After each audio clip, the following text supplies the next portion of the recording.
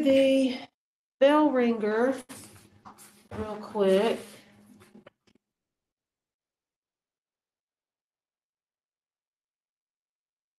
Here's one. Holding my hand. All right, so in Kansas, I remember, got used to that one there, and then, I want to pass that. go, give me just a minute and Why is, All right, so we'll close up all these weeks, and we're on week five. The way I numbered them. All right. All right, bell ringer, two dash two, because it is February second. February second.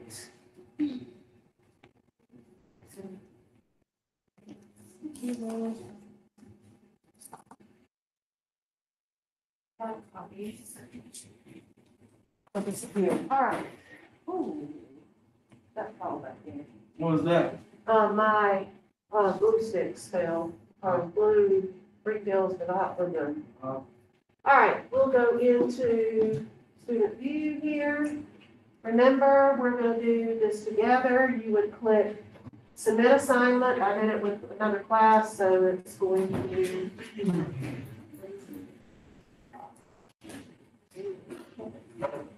All right, so a liquid changing state into a solid is called what? When you go from liquid to solid, Um, start with the F, frozen. freezing, very good. So number one is freezing. So you Oh, go- this is the, You'll type freezing down here. Number two, a gas changing into a liquid. Gas to liquid. I mean, no. That's what gets on your cold Condensation. condensation. It's on your cold glass. All Hmm, this is one we're not as familiar with. The gas can go directly to a solid, um, and if you were what's the here, start with? a D, Deposition? The deposition. difference. Alright. All right, and then four is a solid going into a gas.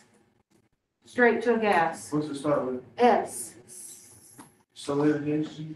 very close. Sublimation. Sublimation. Sublimation. And then where can you find plasma? Not blood plasma, Uh, plasma as in charged particles. space. All right, stars, Number five. that's, that's it. Stars, neon lights, auroras. All right. I think I'm gonna do it this way. All right, what I want you to do, Cameron, are you gonna take a long time in the bathroom or are you gonna be quick? No, I'm gonna be quick. All right, well, I'm gonna have this on the front here, if you'll grab it on the way back. All Alright. right, you'll submit this, and you can click next. Um, here, and it takes you to the notes. So I'm going to let him, oh, um, you can just put stars. You don't have to have all three. Here. Oh, no, not there, I.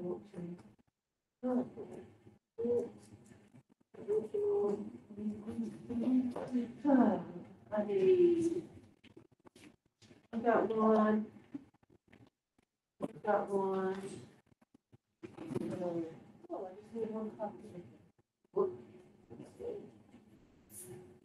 Okay, so. Oh, you not even want that. All right, so we're going to talk about solutions. This is finishing up our unit on matter. So tomorrow, we've got a review. And Thursday, you're gonna take a test um, on matter. And we're moving right along. So Thursday, there'll be some time in class after the test that you can make up work. Because I'm not gonna plan to start anything new Thursday. So, um, you can use that time to make up work, um, after the test. So solutions is what we're gonna talk about today. So we did mention earlier in this unit that um, homogeneous mixtures are considered a solution. That's because they're the same throughout, they have the same composition.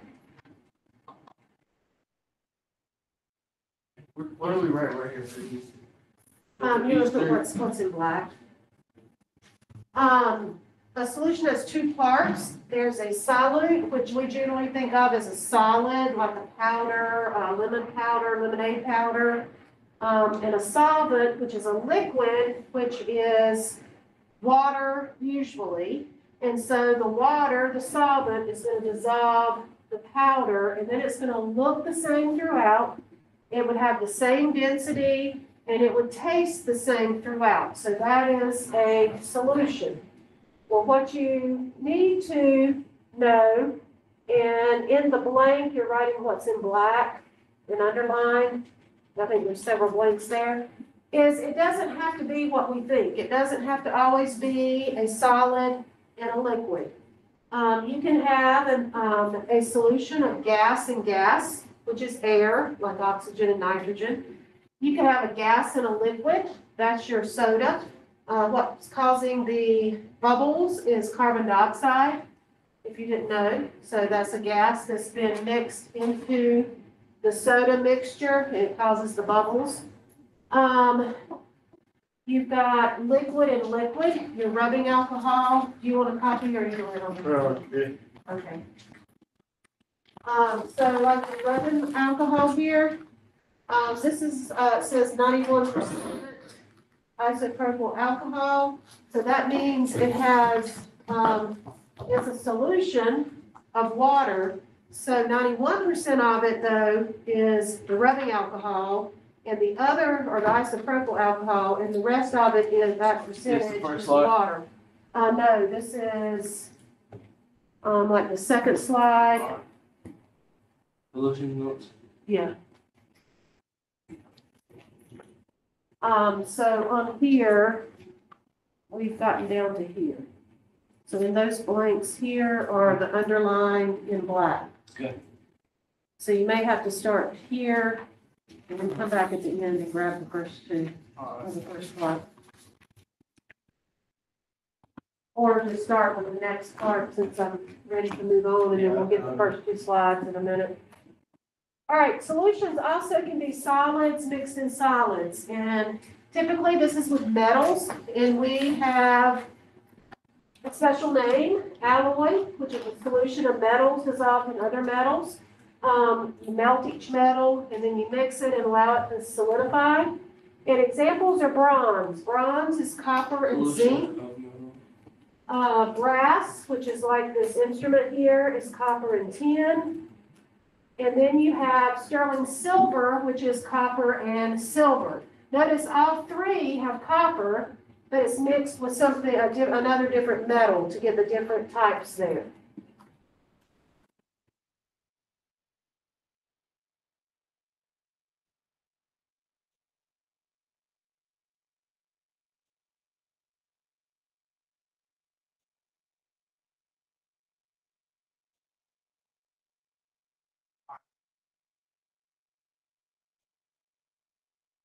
Alright.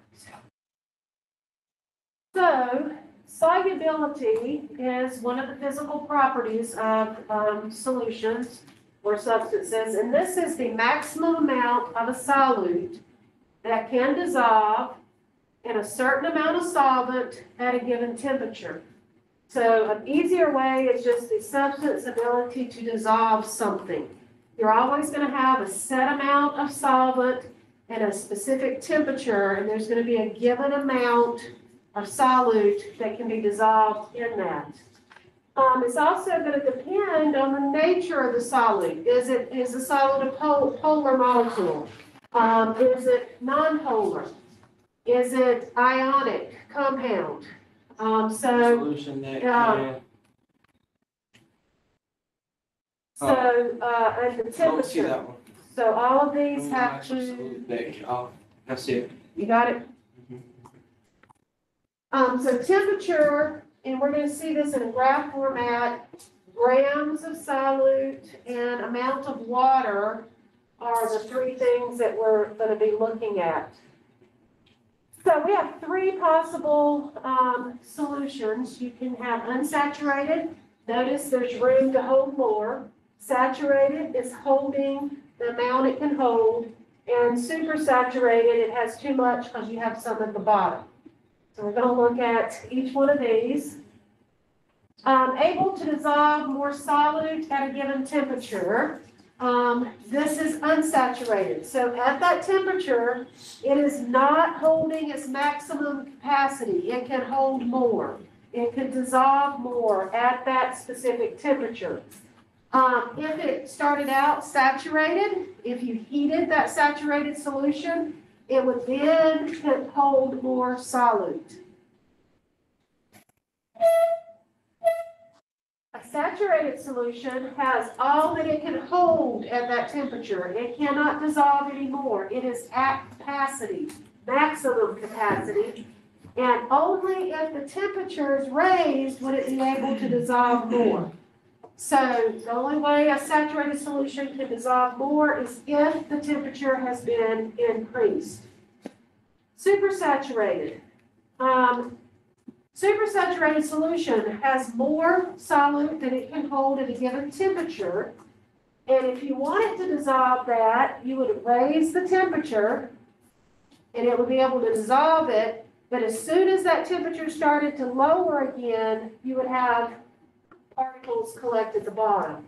So it's holding above the maximum capacity, and typically you would see the left, the rest here. So when you want really, really sweet coffee and you keep putting sugar in it, and then when you're finished with the coffee, you still have sugar in the bottom of your cup, that's, it means you had super saturated, because it couldn't dissolve all of the sugar. And these are unstable, especially if you raise the temperature to make it hold it, then when you lower the temperature again, it will not. You've got to be able to read this um, solubility curve here. So, let's, see if there's anything on here. Okay, so basically, this is showing grams here of solute, and this is showing the temperature. If it falls on the line, it's sat, is saturated. If it is above whatever line you're looking at, it is supersaturated. If it is below whichever line you're looking at, it is, um, unsaturated. And we're gonna, that's what our practice is, is dealing with the solubility curve today. So dissolving, how dissolving works. Water is our main solvent, it's the universal solvent, and why it's that is because it's a polar molecule. If you notice, um, this is a diagram of a water molecule. Look how large oxygen is. Oxygen is a really large molecule. It is, um, sharing, hydrogen and, and oxygen here sharing electrons. Because oxygen is so large, those electrons spend more time with oxygen. So that makes oxygen have a negative charge and the hydrogens to have a positive charge. And because of this, they, it is able to dissolve um, other substances. Um, if, it, if other polar substances, because they'll also have positive and negative ends. Um, ionic compounds, which are made up of um, ions that have positive and negative charges, and we'll get to that when we get into our reactions unit. Um, so water is able to do something called uh, disassociation. You, well, there's, what, what are those salutes? Huh? I think you skipped some. But, yeah, yeah.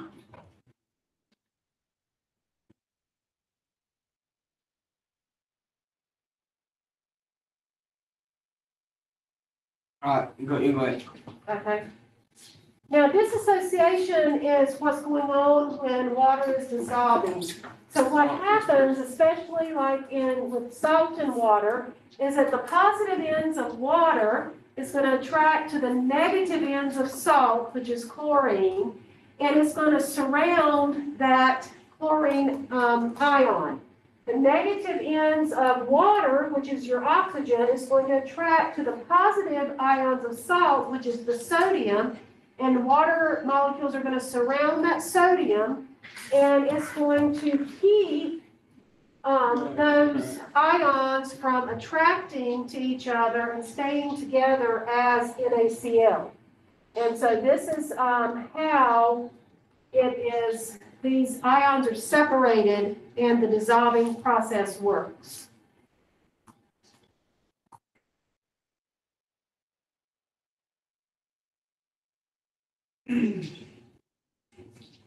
Says, that's a blank, too many blanks. All right, there's one, I think, that says positive ends, Uh, negative ends of water. Uh, positive, let me see here. So, gotta separate into ions, I got that. positive ends of water attract to negative ions. And this should have had a mark here, and for some reason it's not. Yeah, or maybe it does, it's not supposed to, okay, negative ends of water attract to positive. So positive, negative, negative, positive, then attractive, The positive, negative, negative, positive. ions of salt. Positive, negative, negative, and positive. Positive, yes. And then attractive, and then surround.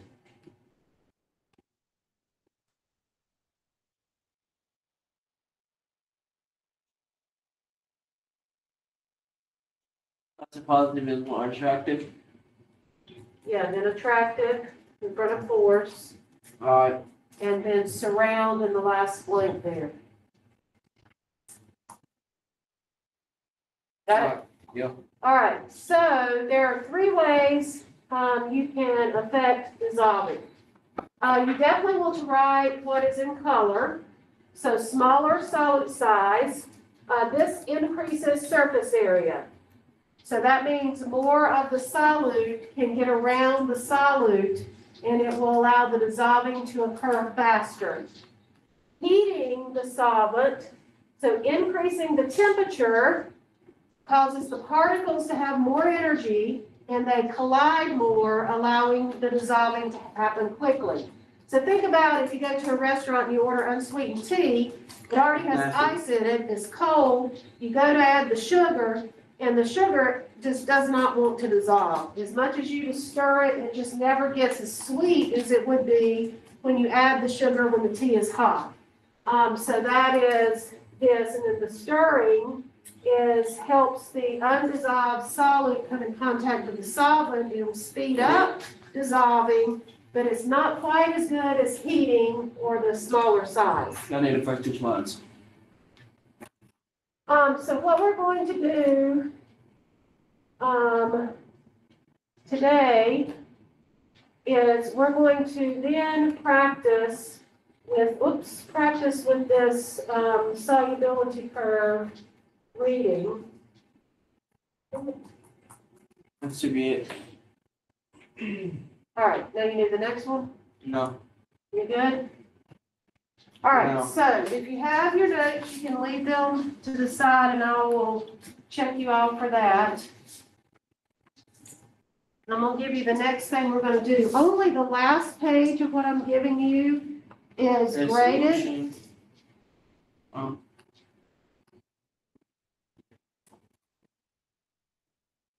Um, the first two, pa- the first page has some information we're gonna talk about. The second page is just, um, me talking through how to do some of these. And the third page is what you're gonna do on your own. So give everybody a minute That's to the- finish up. same.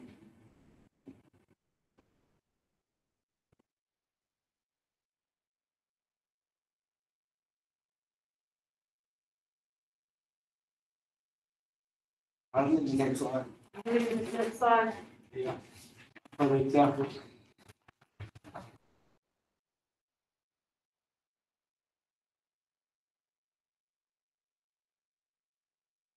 All right, I'm gonna move over to my Jamboard in just a minute, we're gonna talk about what's on this front page. I'm gonna go through some practice problems on the second page. The third page is your graded assignment.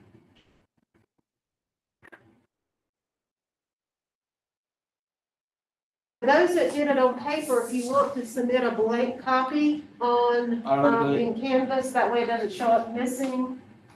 Um, will probably be good. All right, so you're all here. You're just gonna click next. Well, I'm not gonna. Um, we do have a video. There's like two videos that you're going to watch. Um, but we're gonna talk about this first.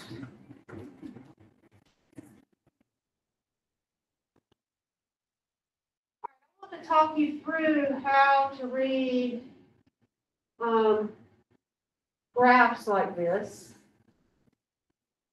So if you look at the first page, which isn't up here, but it just tells you some things.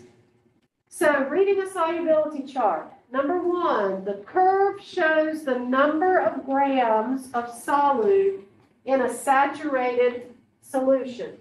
So any point that falls on this line is, or any line represents saturated solution. Okay, so if a point falls on the line, it is saturated solution. That's what number one is telling you. Any amount that falls below a line, so if I was looking at this pink line, if something fell below it, it would be unsaturated. If it fell above it, it would be supersaturated. If it's on it, it is saturated.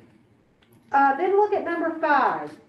Solutes that tend to move upward tend to be um, dissolving of solids. So as you increase the temperature and you have, you're trying to dissolve a solid, it's gonna, it's the more you increase, the more it's going to dissolve, so it's going to rise. Now, if you have one that's going down, like this orange one, that is probably a gas. If you have a gas and increase the temperature, it is going to go down. Okay? It's not going to, um, your graph is not gonna go up. Um, we're not worrying with the solving part. I just wanted you to have these three or these six, um, pieces of information here for reading a solubility curve. Now, flip to the second page. Because this isn't on the computer, this was something different. We're gonna look at this graph here that I have up here, and I'm gonna take you through different examples of questions here. So number one says, which of the salts in the graph is the least soluble at ten degrees? All right, if I look at my graph, remember, we have grams of solute here, and I have temperature here. So I want to go to ten degrees, which is right here, and I want to look at this line. Least soluble is the lowest line. What color up here is least, is the bottom at ten? It's dark blue, and what you can't see on mine, but you might be able to see better on yours, Blue foot and blank. is that it is KClO three. So what you're gonna put in this blank is capital K, capital C, lowercase l, capital O, little three. You say over? Um, Blue well, three at the top or bottom? at the bottom. I wrote it above it so I could write it big. You can write it in So the put that in the blank. blank. Yes, that goes in the blue. K C So- K. K, capital K, Uh-huh, capital C, yeah. lowercase l, capital O, with a little three at the bottom. Alright. Um, that is potassium chlorate, and it is least soluble of all of these at ten degrees Celsius because it only will dissolve about six grams of substance. So if it asks for the most soluble at ten, then I would have to look at whichever graph was the highest up, and it would be I think that's KI. potassium iodide, it's hard to read the, so it's the top one, it it asks for the most. So let's look and see what number two is asking. Which of the salts shown in the graph has the greatest increase in solubility as the temperature increases from thirty to sixty? All right, so I'm gonna go from thirty, right here. Here's the thirty line. Here's my sixty line. Which line has the greatest slant upward? The N A N O three. All right, it has a K in, uh, no. There's one that slanted a little more, K N O three. K N O three. This one right here. So K N, So capital K, capital N, capital O, little three. It's a slope, K N O three. yeah, all capitals. Its slope is at a greater angle than any of the others between those yellow lines. Right here. All right, so let me erase these so we don't get confused.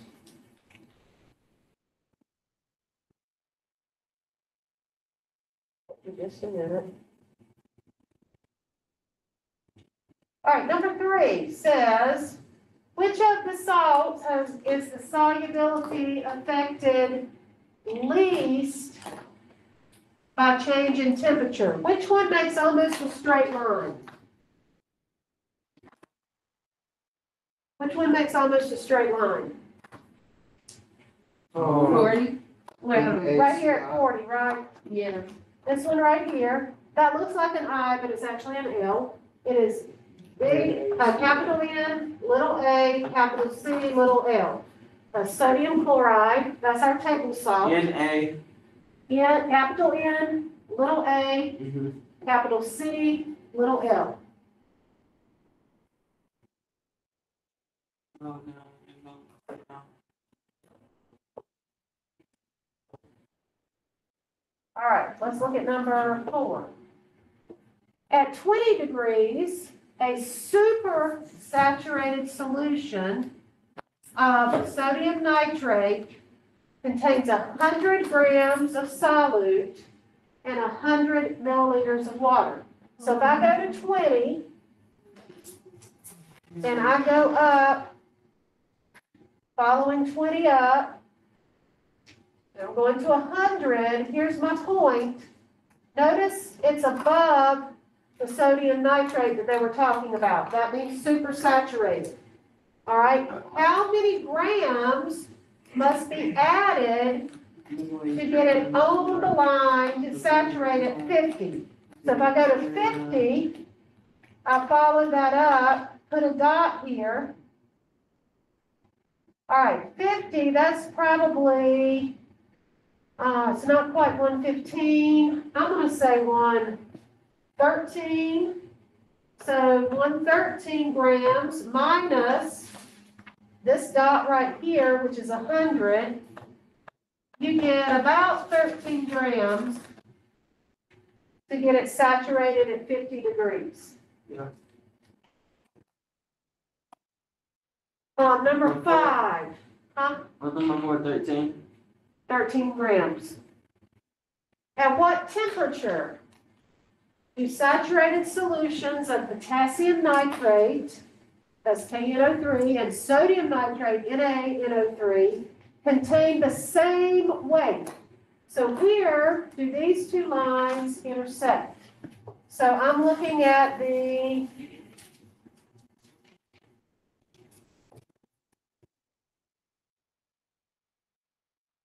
All right, so I am going to look at sodium nitrate, potassium nitrate, where they intersect. They intersect right here. And it's asking for temperature, right?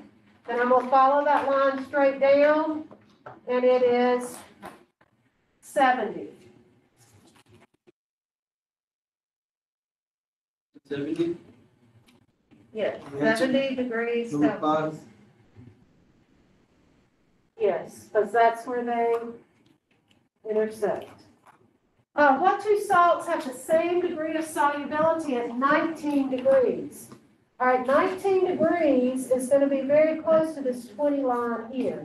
So if I go up, I have one here, this one is right here, this one is actually on the twenty line. So it has to be this brown and dark blue one here. So that is the brown, Is number four four thirty-eight grams? Thirteen, Thirteen? yeah.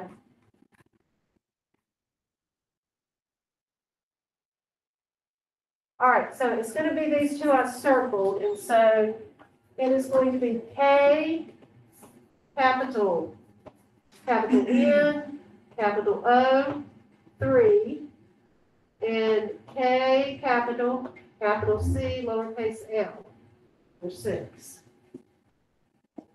So I just looked at nineteen, which ones, See, which ones crossed? And when I followed the brown line, it told me KCL. When I followed this darky, darker blue line, it's KNO3.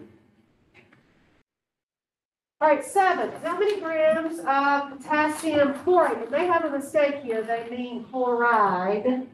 That should be chloride. Um, KCl would be added to hundred milliliters of water to produce a saturated solution at fifty degrees Celsius. All right, so I want KCl, which is right here. And I want fifty, so I'm gonna go up until I inter- intersect that line, the KCl line. And I'm gonna look across, and it's just above forty, so maybe forty-two. Here you have to kind of estimate. So forty-two, oh, not Celsius, forty-two grams. Resting for solid. So G. So that's how you're reading this graph. So with a paper copy, you can mark on it. And even with the one I have in Kami, you can mark on it, but it's probably a little easier to mark on the paper copy. Um, so let's keep going here. Eight. If a saturated solution of KNO3 is prepared, how many grams of solute will precipitate out if the temperature is suddenly cooled to 30? All right, so it's at 60. So I'm gonna draw a line at 60 so I can know where 60 is. It's at 60. And we want to pull it down to 30. So here's my 30 line, just so I know where I'm looking. And it's KC, uh, no, it's KNO3 right here. So here, it is, um, a hundred and, maybe a hundred and four grams. All right, here is,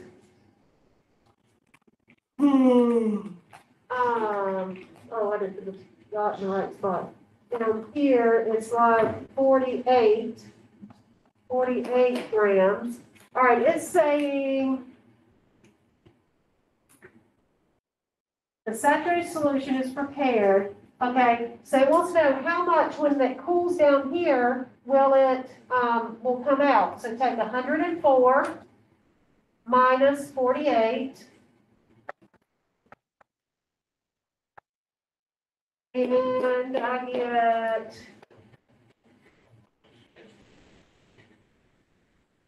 that's six, fifty-six, so approximately fifty-six grams.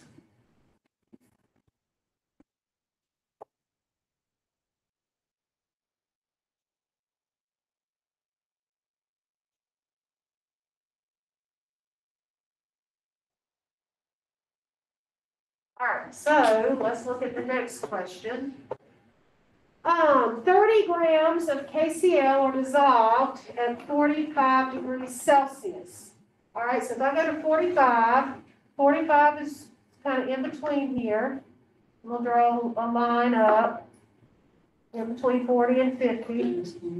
I am looking for KCl, which is this brown looking line, and it says thirty grams is dissolved right here. Up here is KCl.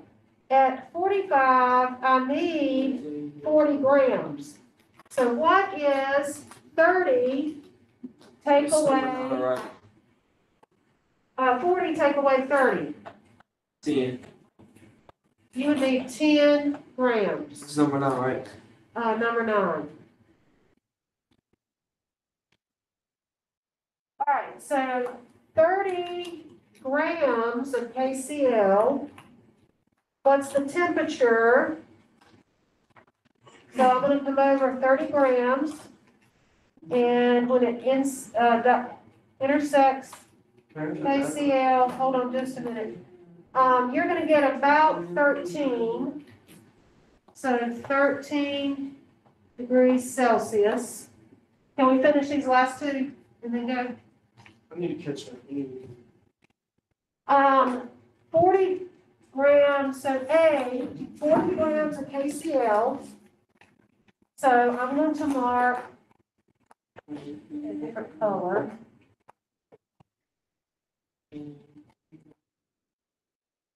Yellow might be the best, even though it's hardest to see. All right, I'm gonna say forty grams of KCl. So I'm going to draw a line across forty grams. All right, there's KCl. In eighty degrees of water, or eighty degrees of temperature, this is my point right here. Is that on my brown line or below it? Was that say fifty-six grams? Where? Number eight. Yeah. This dot right here, is it on that line or below it? So it is gonna be unsaturated. So unsaturated, So what's the answer for number nine? Ten? ten grams. All right, so if I do a hundred, Number nine's ten, yeah, grams. number thirteen, number ten's thirteen, What about number eleven? Oh, unsaturated. hundred and twenty, so I'm gonna go up to hundred and twenty, and I'm going to mark my line. And we're looking at KNO three, which is right here, and we want sixty, so I'm gonna bring my line here. All the way up to one twenty. It is still, it, it- I'm looking at this blue line, and here's my point. Is it on the blue line? Here's my point, here's the blue line. Above. It's above. If it's above, then it is super saturated. All right, one more. If I have eighty grams of NaO, so I'm gonna go to eighty. And my temperature is ten, so I'm gonna come up ten. And here's where it's the pink line. It's on the line. On the line then means saturated.